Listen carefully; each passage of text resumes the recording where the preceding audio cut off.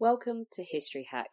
If you didn't know by now, we are the revolution. That means we're sharp, witty, lots of fun, but it also means that we're essentially the peasants in Les Mis huddled round a table in the corner of the bar with no money. If you enjoy the show, please do support us. We have a Patreon account by which you can donate a small monthly sum in appreciation of what you're hearing. Alternatively, we have Ko-fi in which you can just do a one-off donation as a thank you if you particularly enjoy a certain episode.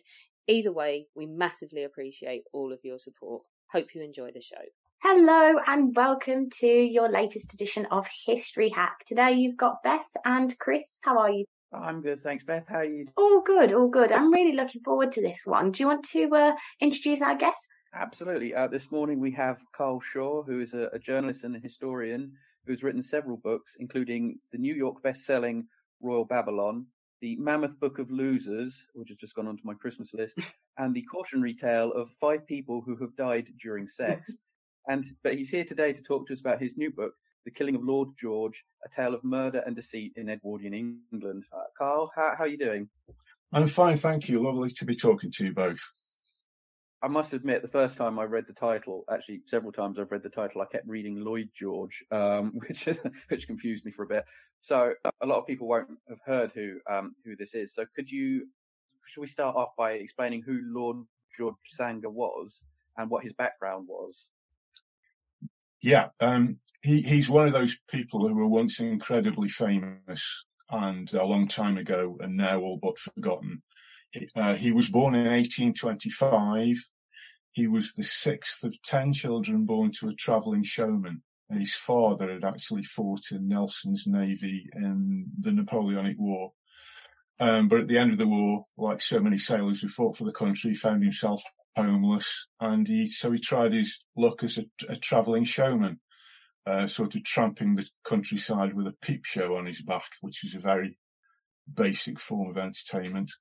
So little George, at the age of five, was um, working with his father's show, and um, George, by his early teens, he was actually running his own one-man travelling show. Um, I mean, during his life on the road, he endured incredible hardship and he experienced a great deal of violence and saw a lot of violence.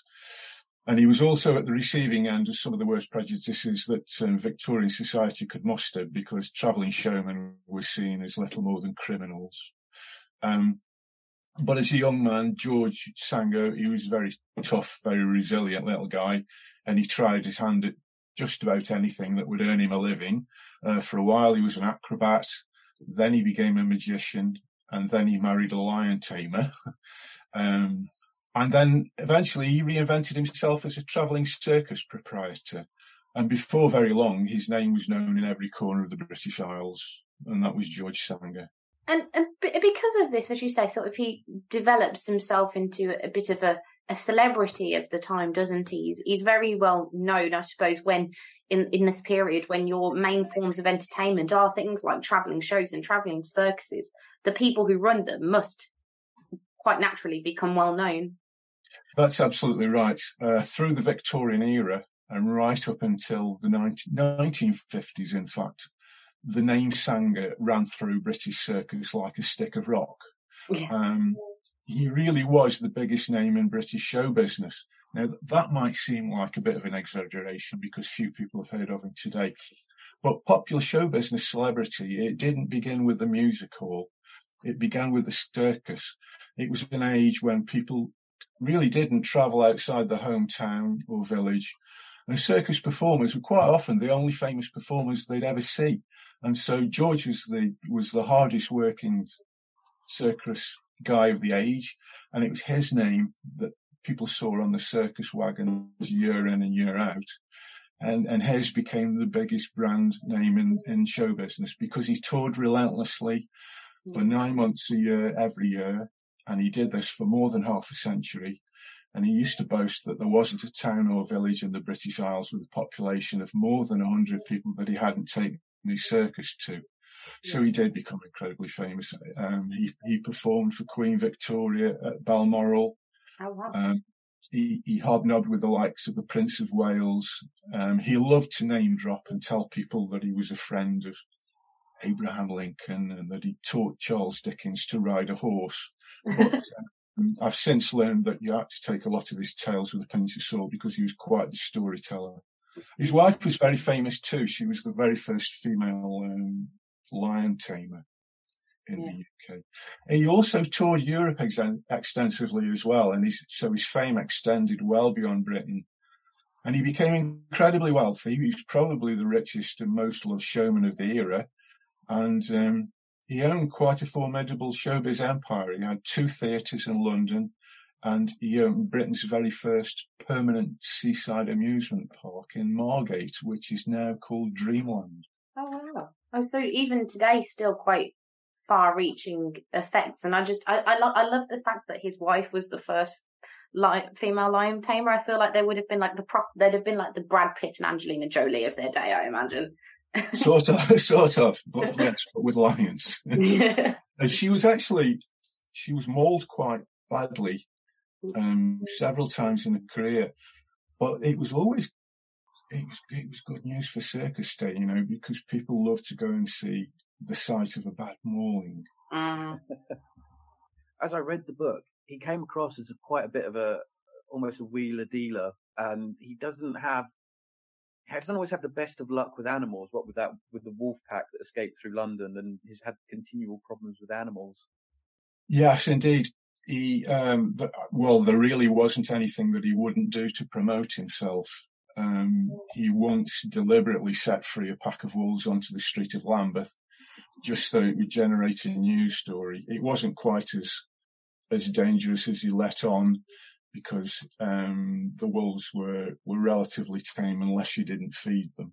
But he was he really was the master of audacious and spectacularly dangerous publicity stunts. He really was a, a wheeler dealer.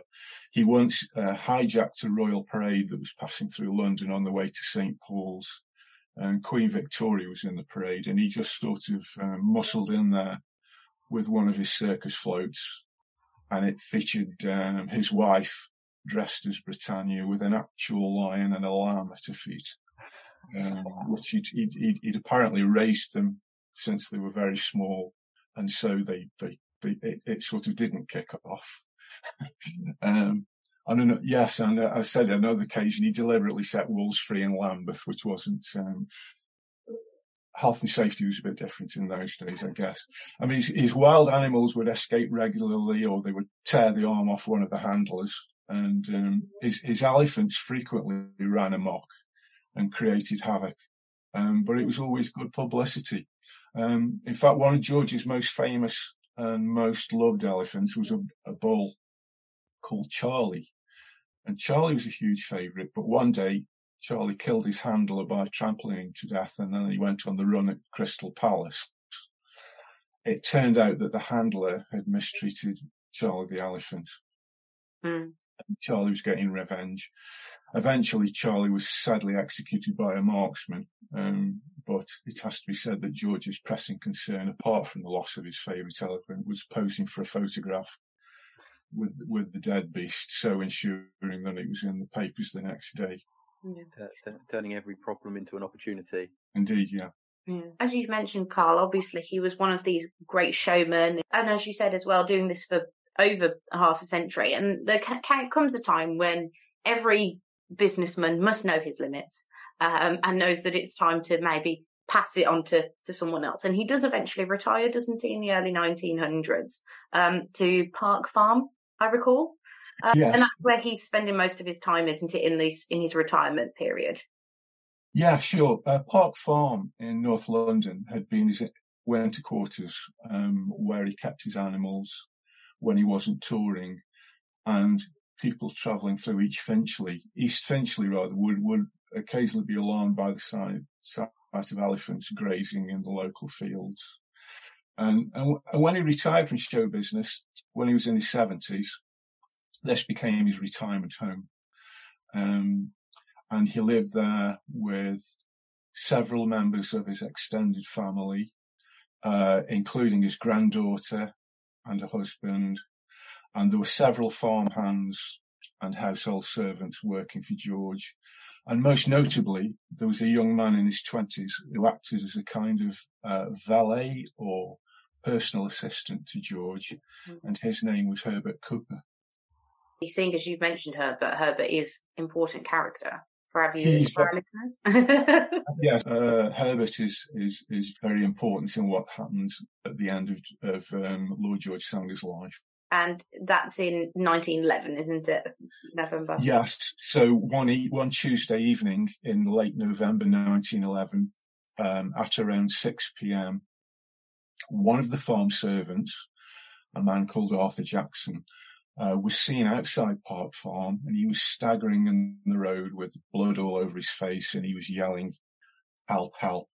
Herbert is murdering us. This was Herbert Cooper, the um, George's assistant. The alarm was duly raised and uh, when a neighbour entered the farmhouse, he found the elderly George Sanger lying on his back in the front parlour, covered in blood and evidently um, near to death. In fact, uh, George died a few hours later from his injuries. Now, the police were told that the employer, Herbert Cooper, had suddenly gone mad in some random fashion and he picked up a, a axe and he tried to kill two people and then succeeded in killing the old man George Sanger as he sat reading by the fireside in his parlour. Um, Herbert Cooper then apparently fled into the night. So the, the police arrived, and um, I'm not. I'm going to ignore the fact that my great grandfather was a policeman in London at the time. Um, but how capable were uh, the Metropolitan Police uh, in and the detectives in dealing with uh, with the with the crime and finding the killer? Well, um, the two senior police detectives assigned to the case were very experienced men and they were assumed to be among the very best that the Metropolitan Police could offer. And uh, they had quite a large team of local officers working for them. Um, but there had been something like a two and a half delay in reporting the crime. And now this was later blamed on a number of factors. Um, there was no phone at the farm. Um, the first Bobby on the scene uh, trusted a passing cyclist to get a message back to HQ. Um, the cyclist rode off and was never seen again. Um, when detectives finally arrived at the crime scene, they found it swarming with people. Um, word had got around and there were several more members of George Sanger's family there. And because of the delay in reporting the incident before any pursuit of um, the um, the fugitive commenced in earnest. Um, the supposed perpetrator, Herbert Cooper, he had a head start of more than three hours. So it wasn't the best start. Frankly, it was a bit of a farce. And that, unfortunately, set the tone for the whole investigation. It was a bit of a shambles. At, at this time, because obviously the main source of, of information is going to be the newspapers and so on, how was this reported in the press? Was it reported as, you know, was it was it one of the big stories of the day? Oh yeah, the the manhunt for George Sanger's killer. Um, it was one of the biggest of the era. I mean, London was the world's most populous city, and it had a, around seven million people. But cold-blooded murders were really rare, um, and the death of an internationally famous showman made the next day's newspapers and was received with horror and disbelief. You know, the, the brutal slaying of a defenseless old man was one thing. Um, the idea that it was done in his own home in a frenzied axe attack by a trusted employee was quite another. So the press really went to town. Mm. And um, it was reported that Park Farm was a total bloodbath. Um, the press said that Herbert Cooper had rushed into the parlour armed with a razor in one hand and an axe in the other, and without warning had basically um, butchered everybody in the room, which was a, a, a complete fabrication, actually. There were hmm. various graphic descriptions in the press about how he rained blows at George Sanger's head with an axe. And um, pretty much all of the first newspaper reports claimed that the attack was completely motiveless and that Herbert Cooper had just suddenly become unhinged. Mm. And uh, there was really no question that Herbert Cooper did it. Uh, the press reported that he was a man of enormous size and strength and of violent temperament, which wasn't really true at all. And over the next few days, the, the press were, were keen at every opportunity to remind their readers that Herbert Cooper was a violent, unstable character, and he was referred to as a madman or insane. And really every scrap of information or rumour about him, no matter how trivial or misleading, was presented as fact by the press as you said, the newspaper said that there was no reason for it and tried to describe him as this violent man. What was there any sort of reason for why he had allegedly committed this murder that we know of? Um, without giving away the very ending, um, it was it was alleged that some money had gone missing at Park Farm, and that um, the finger of dis- suspicion was pointed at Herbert Cooper. Right. As a result of this, um, it cost him his job. He was allowed to stay on at the farm as a general labourer, but the sort of prize plum job of being personal assistant to George was given to another man. Right. And the theory was that um, Herbert Cooper had um, become jealous of this other guy and it had all kicked off and he'd, it was a revenge attack and that he'd um, suddenly, you know, lost his marbles. That was the theory anyway there's more to the story of, of that night though. Um, Robert, uh, two gentlemen called Robertson Potter find something near Stanhope railway station on the 30th of November. What, what did they find? Yeah, so the manhunt went on for a couple of days. A couple of days later, a train passenger at Highgate Station in North London reported that he thought he'd seen a body on the railway line. And when a couple of railway employees went to investigate, um, they found a decapitated um, body on the line, and it was Herbert Cooper, the, the wanted man. And from the position of the body, it was clear that he'd, he'd laid down by the side of the line and placed his head on the rail and was killed by a passing train. And they searched his body and they found a suicide note scribbled in pencil and actually, when I was researching this book in the Metropolitan Archives in London, um, I found hidden amongst the coroner's case files uh, the actual suicide note. It wasn't a copy; it was the actual note. Oh wow! And that that, that was quite an affecting um, discovery. That really did, um, you know, make the hairs on the back of the neck stand up. And I had to, I realised then I had to treat the story with great respect.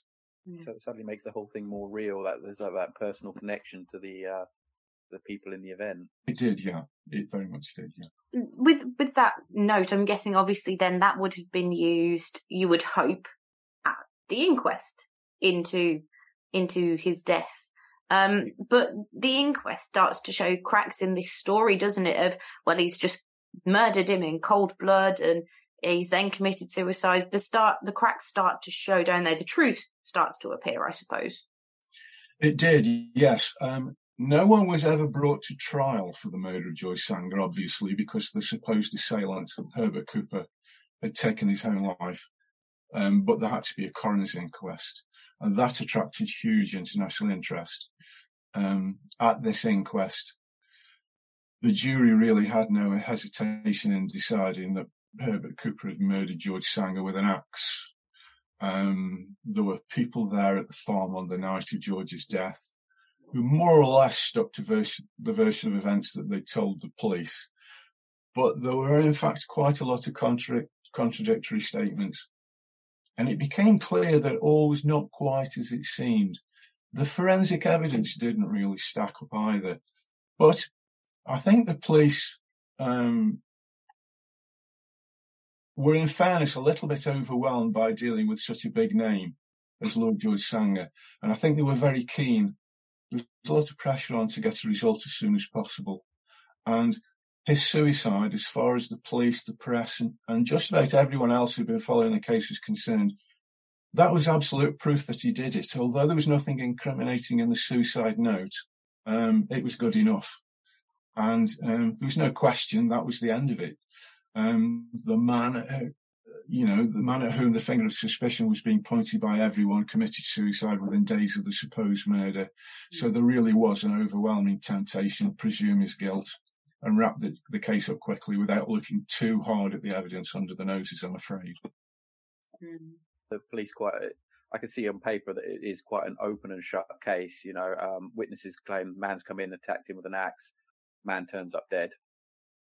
Open shut. Yes, that, yes, it really, really was. It really was about that.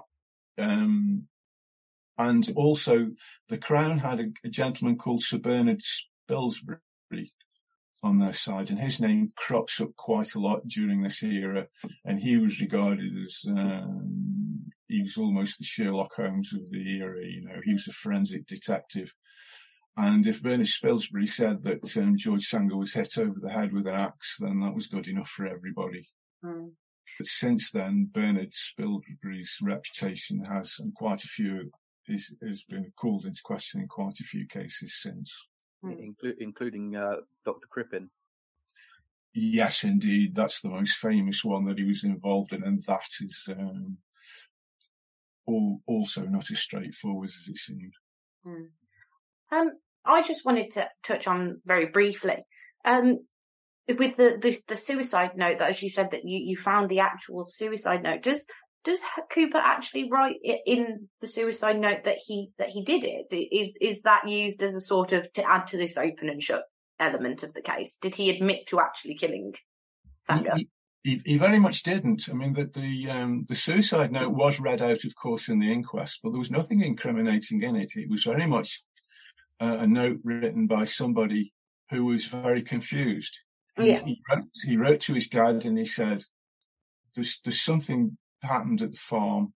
I don't know what happened. There's something, there's something bad happened, but, um, I know I'm in trouble. Um, and then he was, he, he, he was kind of, he, he was defensive, but he didn't incriminate himself. It very much seemed as though this was this was a man who was, who was writing suicide note, then laid his head on a railway line. I can't imagine what was running through his mind at the time, but he was clearly very distressed, but no, he didn't turn up to the murder. Right. Later on, um, one of um, Sanger's relatives, George Coleman, said that uh, Cooper was, uh, quote, uh, more sinned against than sinning. So it would definitely seem like there's a lot more to this case than is believed, and maybe Henry is not as guilty. But I, again, I, I, don't want to give away any spoilers, but it does, it does appear that he's not as guilty as everyone in at the time thought he he was. Yes, uh, in the years that followed uh, George Sanger's death, there there was all this always this kind of lingering suspicion within the Sanger, Sanger family that the whole truth about what happened at Park Farm that evening hadn't really been told. Now there's a guy called George Coleman. He was the grandson of George Sanger, and he was also a very well-known circus performer. And uh, Mr. Coleman was also one of those who thought there was something very fishy going on because he knew Herbert Cooper and he really couldn't imagine him wanting him to harm his grandfather. So, um, in the, in 1952, George Coleman published his autobiography and in these memoirs, he revealed a family secret that had been told to him not long after his grandfather's death and had never previously been revealed. And the gist of it was that he had very good reason to believe that um, Herbert Cooper had been unjustly vilified.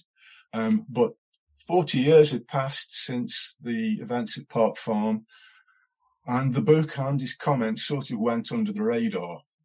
Um, but I had access to something that George Coleman didn't, because after the coroner's inquest, the police files and everything else that was associated with the case was was was sealed from public view for 75 years. Mm. That was routine in murder cases. So I've been able to look at the police files and the inquest transcripts with fresh eyes. Um, I could tell from the binding. I mean, so these files would have been available to the public from about 1986, but I could tell from the bindings I would guess that I was probably the first person that, that had seen them for more than 100 years, actually.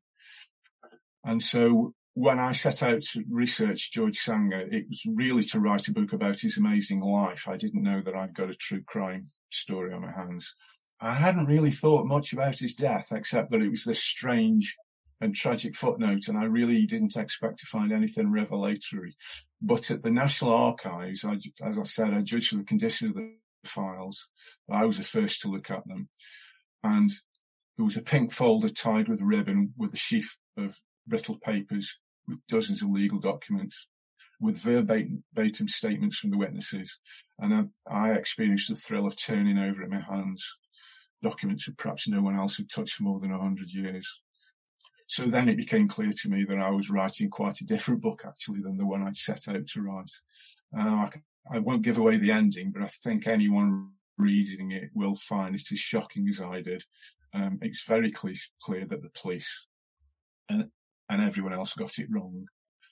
And actually, I was talking about this to a member of the national press, a crime writer, a couple of weeks ago, who, you know, he reads these kind of books all the time. He told me he thought it was the most obvious miscarriage of justice he'd ever come across. Yeah, I must admit when I, I read I, when I was doing the prep for this and reading the book, I, I was riveted. It was it was a really interesting case, and like you said, it does look like the police have gone for uh, almost the easy option of like, there we go, done, it's all over, but without doing any proper police work, as it were. Yes, I'm afraid that was the case, um, and I think there's compelling evidence in the book to suggest that that was the case. Yeah. So, um, if anyone um, anyone who's listening wants to find out more, and you really should, because it's, it's actually a really interesting case, uh, you can buy Karl's book. Karl, would you mind uh, reminding our listeners uh, the title of your book and where they could get it? Um, it's called The Killing of Lord George, and it's available from all of the usual suspects online or on the high street. And we'll, uh, I'll speak to the powers of be to see if we can get it on the uh, History Hack online bookshop as well. That way, um, we can stop Amazon from firing rockets into space. Karl gets some more money, we get a small slice, and um, you get a brand new book. Lovely. yeah. But, oh, it's been great speaking to you um, about this. It's been this is really interesting story. My pleasure. My pleasure. Thank you so much, Karl. Our incredible guests give us 45 minutes of their time to join us and talk about their work or their new book. This is just a small taster. As a result, we have launched our very own bookshop on bookshop.org, where you can find our guests' latest books, you can support them, and you can support us on History Hack. 10% of every sale via our bookshop supports the podcast and allows us to keep going and bring you more top of the line guests. You can find our bookshop at bookshop.org forward slash shop forward slash history hack or search for us in the shop section. Thank you so much for your continued support. We really appreciate our listeners and supporters. So make sure you get down to the bookshop and grab yourselves a new book.